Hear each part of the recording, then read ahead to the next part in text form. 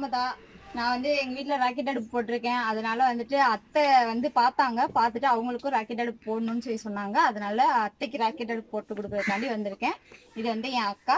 இவ வந்து எனக்கு ஹெல்ப்புக்காண்டி வந்திருக்கா. அவ்வளவுதான். எங்க அக்கா எங்க அண்ணி சொல்லியிருக்கேன்ல அண்ணிய வீடியோ எடுத்தால கார்த்திகா அண்ணிய கார்த்திகா அண்ணி கார்த்திகா அண்ணியோட தங்கச்சி இவங்க தான் அதனால இவங்க வந்து இன்னைக்கு ராக்கெட் அடுப்பு செய்ய போறாங்க. எப்படி செய்யறாங்கிறத பார்க்கலாம். காலவையில் வந்து எடுத்து வந்து வச்சிருக்கோம். காலவையில வந்து கல் வேக வைக்கிறதுக்கு முன்னாடி உடஞ்சிரும் அந்த கல்லுங்கள்லாம் அறக்கல்லாம் கிடக்கும். அதெல்லாம் எடுத்துட்டு வந்து வச்சு கொஞ்சம் ஊற வச்சு வச்சிட்டோம்னா கரெக்டாக பதமாக இருக்கும். இப்படி இருக்கும். இந்த கல் வந்து அரைக்கல் வந்து மூணு கல் வேணும். அதுக்கப்புறம் வந்துட்டு இது கொஞ்சம் நாங்கள் சின்ன அடுப்பாக தான் செய்ய போகிறோம் அதனால் அரைக்கல் மூணு தான். இதுலேயும் வந்து பன்னெண்டு கல் தான் வச்சுருக்கேன். வீட்டுக்கு தேவையான சமைக்கிற அளவுக்கு தான் நாங்கள் கல் வந்து ரெடி பண்ணியிருக்கோம். ரொம்ப ராக்கெட் அடுப்பு ஹைட்டாக போட்டோம்னா இதாகிடும் அதனால நிறைய விறகு இருக்கிறதுனால நாங்கள் ஹைட்டை கம்மி பண்ணிட்டோம். ஓகேவா முடிஞ்சா போடுவாங்க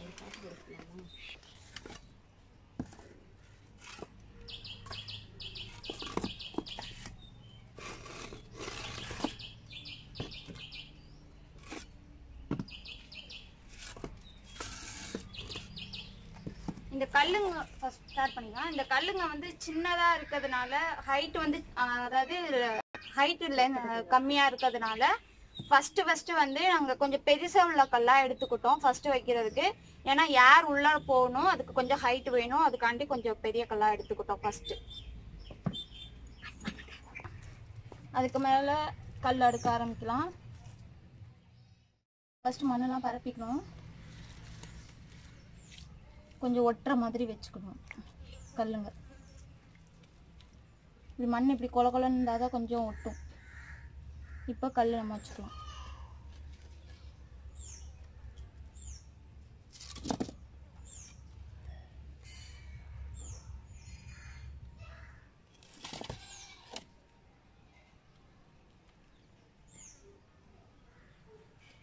இப்போ இந்த மூலையில் இந்த அரைக்கல் வந்துடும்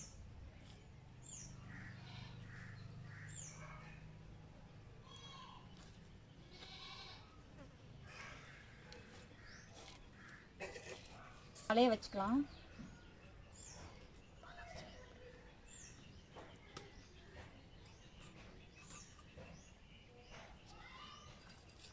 வளைய வச்சுட்டு அது மேலே மண் போடணும்.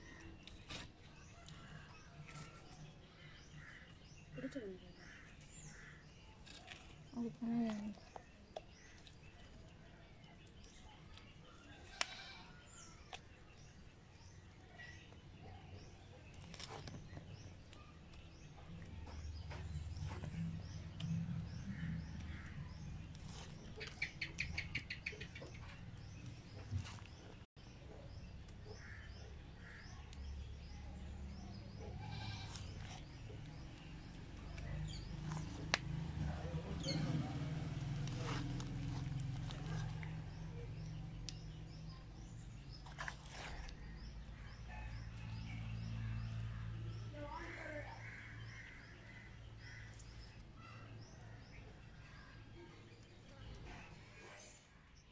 காலாவிலேருந்து எடுத்து வந்த மண்ணுங்கிறதுனால நம்ம வந்து மணல்லாம் சேர்க்க வேணாம். ஏன்னா அவங்க எல்லாமே கரெக்டாக இது பண்ணி வச்சுருப்பாங்க. அதனால நமக்கு மண் மணல்லாம் சேர்க்க வேணாம். அப்படியே போட்டுக்கணும்.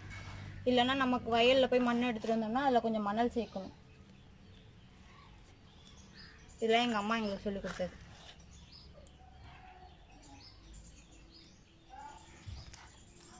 உட்காந்து பேசி. இப்போ நம்ம அடுத்து கல் வச்சுக்கலாம்.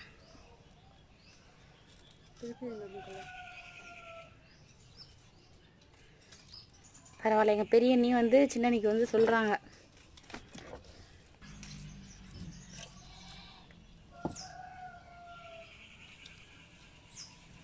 நான் வந்து இந்த சைடு வந்து இது வைக்க போகிறேன் இந்த சைடு யார் வர மாதிரி வைக்க போகிறேன் இந்த சைடு தான் வந்து அடுப்புக்கு விறகு வைக்க போகிறேன் விறகு வைக்கிற மாதிரி ரெடி பண்ண போகிறேன்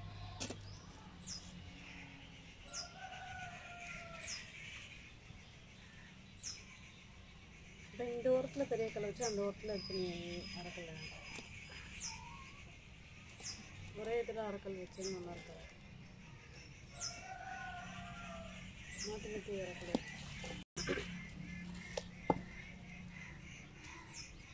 விளக்கேற்றிக்கலாம்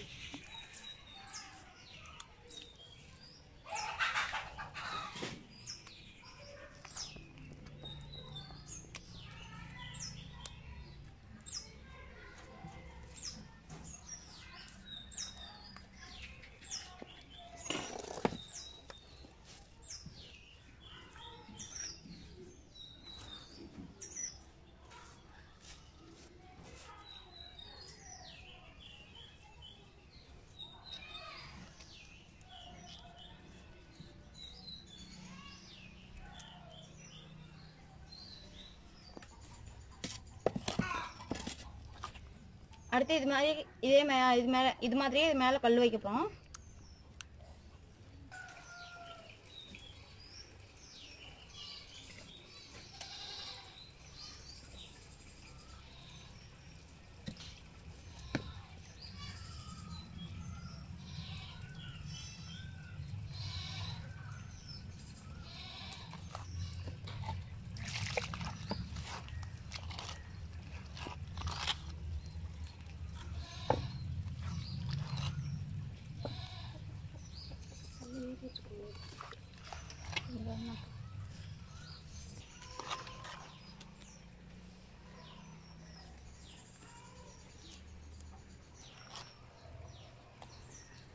இது முடிஞ்சிருச்சு அடுப்பு வேலை முடிஞ்சிருச்சு.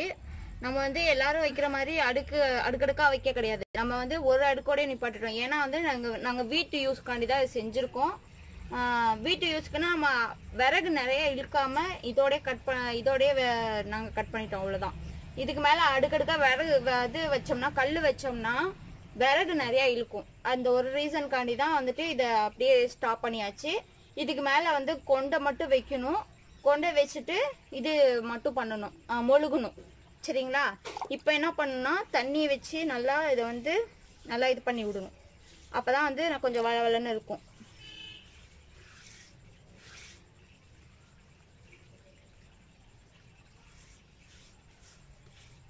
இது நல்லா காஞ்சதுக்கப்புறம் சாணி போட்டு மொழுகிடணும் அவ்வளோதான்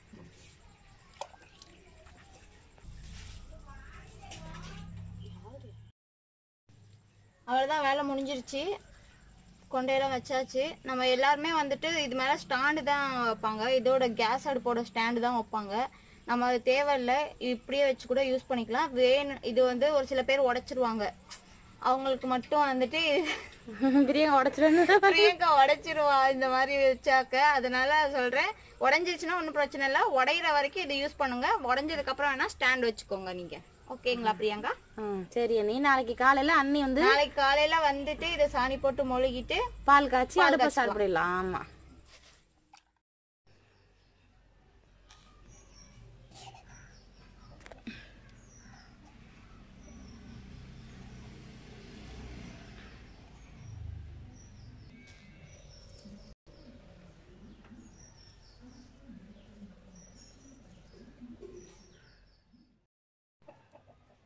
அடுப்பு முடிவியாச்சு கோலம் போட்டாச்சு.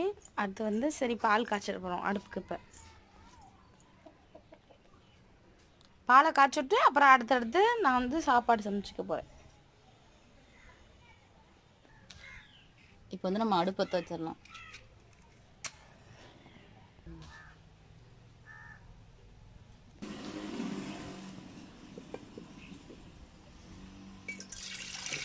அம்மா தண்ணி ஏமா அவ்வளோ தண்ணி ஊத்துற? நாங்கள் மூணு பேர் தானே நானும் கோகுலு அம்மா. நம்ம பால் ஊட்டுமா கேஸ் மாதிரியே இது சூப்பராக இருக்குது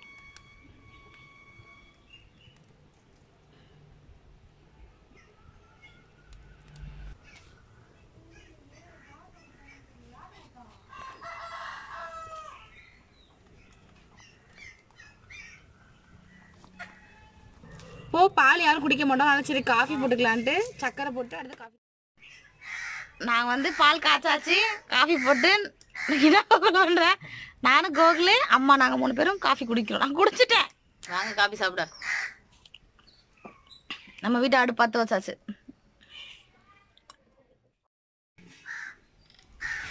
அடுத்து வந்து உழ வச்சாச்சு.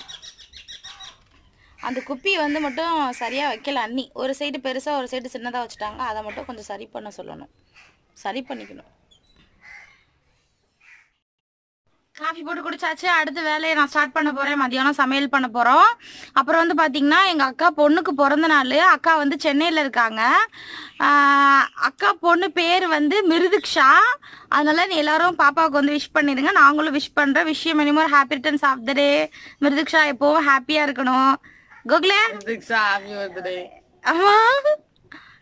மிருதுசா பிறந்த நாள் வாழ்த்துக்கள். நீ எப்போதும் சந்தோஷமா நல்லா இருக்கணும். நான் கடவுள்கிட்ட வேண்டிக்கிறேன்.